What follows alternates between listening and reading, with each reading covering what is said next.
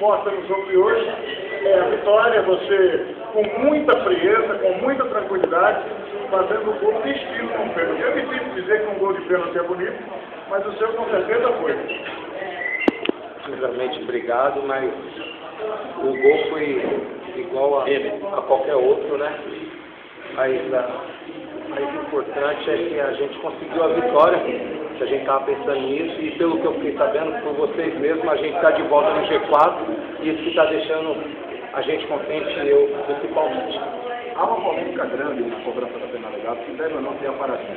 Você não fez a paradinha, mas olha, você tirou completamente o goleiro só na giga do povo. É, fui feliz, né? Acho que Deus me abençoou aí, fui feliz. Eu tinha comentado com o Souza, eu falei, eu vou bater no meu canto chapado, já para ele escutar, que eu sabia que eu ia fazer isso mesmo, que já estava na minha cabeça de fazer isso. E vai imaginar que num jogo 0 a 0 onde já perdeu um pênalti, um jogador vai, vai bater no meio. Eu já estava na minha cabeça isso daí, e graças a Deus eu consegui. É, e o, o nosso companheiro Anderson também foi feliz. Gente foi perguntar se deu a paradinha, foi discreto ali na cobrança, não. Se lascou o goleiro na, na cobrança ali, deixou o cara do lado, bateu do outro. E essa, essa alegria que tem a torcida coral agora gritando seu nome o tempo todo, isso está mexendo com você, te motiva um pouco mais, Aragão?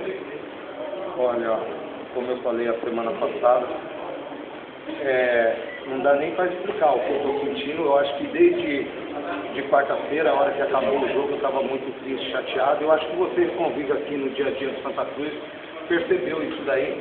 A gente fez uma ótima partida lá, infelizmente perdemos de 1 a 0, porque não é justo. A gente vai no mercado, vai no banco, e os torcedores acabam reconhecendo a gente a gente vê depoimentos deles aí falando que já sofreu, que em 98 o time estava caindo, eles colocaram 60 mil, 65 mil pessoas aqui dentro. A gente sabe que é uma torcida que sofre e empurra o time. Então, isso daí eu acho que está mexendo comigo a cada dia. Cada dia eu estou aprendendo mais. Por isso que quando eu entro ali dentro de campo, eu tento dar o máximo de que essa torcida merece ser feliz. Se todas as vezes a gente pudesse deixar ela feliz que nem hoje, ia ser muito bom. A modéstia é uma de tuas características, Brasão, mas já passou pela tua cabeça de repente chegar a artilharia. O Ciro chegou ao décimo, você chegou ao segundo. Dá para pensar nisso? Olha, sinceramente eu não estou pensando no individual aqui. Né?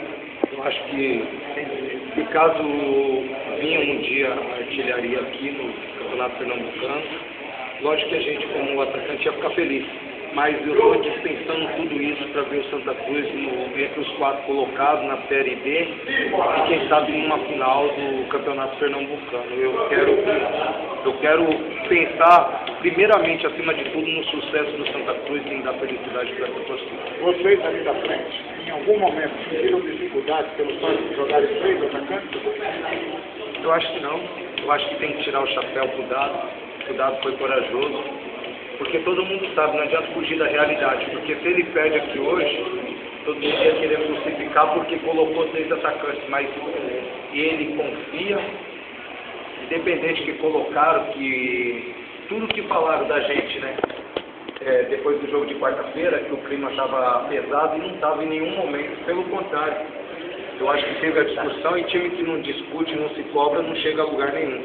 E o Dado foi muito feliz, ele colocou pediu para a gente fazer um, marcar de uma certa maneira e pode ver que a gente deu azar nas finalizações, mas o time jogou muito bem, não tem, eles chegaram muito pouco e só deu a gente, infelizmente, perdemos um, um pênalti, que acontece, só vai perder quem está lá, mas o Joel fez uma grande partida, como o Jacques, como o Dedé que estreou, e o Dado está de parabéns que ele montou, o que ele pediu foi feito, e a gente deu um sufoco, ganhamos de 1 a 0, mas se for analisar a partida friamente, vai ver que nosso time estava em cima toda hora. Por falar em confusão, você falou né? Sexta-feira, para que o tanto, para não, não, não, levar o clima ruim para o jogo no dia de hoje. É uma característica sua tomar frente quando acontece algum tipo de problema, como na sexta-feira?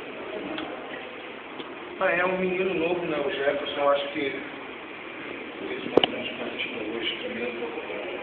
É, Daí acabou acontecendo aquilo e faltava cinco minutos para acabar o treinamento e ele acabou discutindo, com uma discussão só, e acabou filmando. Você sabe que às vezes quem vê pela televisão, às vezes você pega um programa no finalzinho, você só escuta a última, o último pedacinho da frase, o que, que você vai pensar?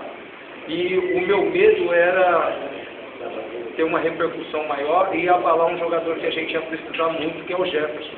Então, por isso que eu pedi para não filmar e obrigado vocês que respeitaram também, porque todos nós somos pai de família, precisa disso aí, um respeitar, eu preciso respeitar a profissão de vocês, vocês, é, obrigado por ter respeitado naquele dia ali, apesar que até deram a notícia, mas... Eu não tinha como não dar. Não, não, mas tá bom, só tenho a agradecer que aliviaram um pouco, né, mas está tudo resolvido e o grupo está mais fechado do que nunca. O torcedor também, vai ficar feliz até tem aquela grande interrogação trazendo rica para o ano todo, para o campeonato da Série D. Esse é o seu projeto, esse é o seu pensamento, Brasil? Ou tem essa de, olha, joga o Pernambucano, se destaca porque você é um bom jogador e ir embora? Para a torcida, que eu tenho a dizer que eu estou de corpo e alma dentro do Santa Cruz. Eu não penso em sair, tenho contrato, e enquanto eu tiver contrato, pretendo cumprir, e eu só estou pensando aqui. Só estou única e exclusivamente pensando só aqui dentro de Santa Cruz e quero permanecer. Porque não é, não é, não é qualquer um ter o privilégio de jogar numa equipe que tem uma torcida que, que nem a do Santa Cruz.